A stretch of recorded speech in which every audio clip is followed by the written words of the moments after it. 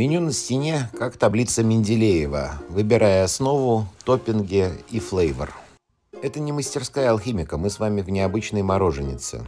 Молоко или йогурт, что закажешь, наливают в такие чаши и превращается оно в мороженое буквально на твоих глазах, в машинах, основанных на жидком азоте. Вся технология наглядно расписана на рисунке. Не только еда, но и шоу. Камчатка дают тебе клубами пара.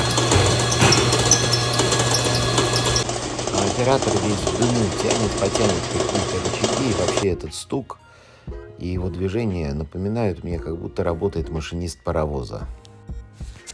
Вот дымящаяся чаша с моим мороженым при таком способе приготовления, оно необычайно свежее и гладкое. На чашке самой написан рецепт, но ну, я заказал себе самый простой состав. Ями.